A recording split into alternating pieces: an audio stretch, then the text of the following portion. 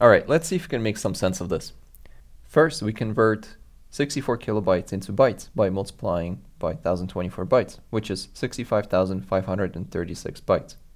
Next, we convert this number into the number of packets by dividing by the size of the packet, and that turns out to be approximately 45 packets. Next, we can plug in the numbers that we have into the formula that we have here. We know that the round trip time is 100 milliseconds.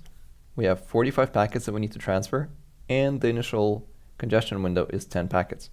Now, this actually simplifies to 3.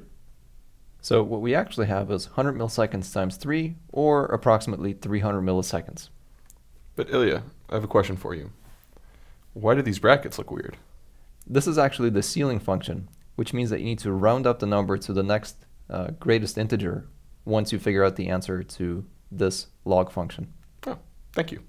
So the final answer is 300 milliseconds, which is quite a bit of time, that said, note that this is only true for new TCP connections. Check the link in the instructor notes for more details.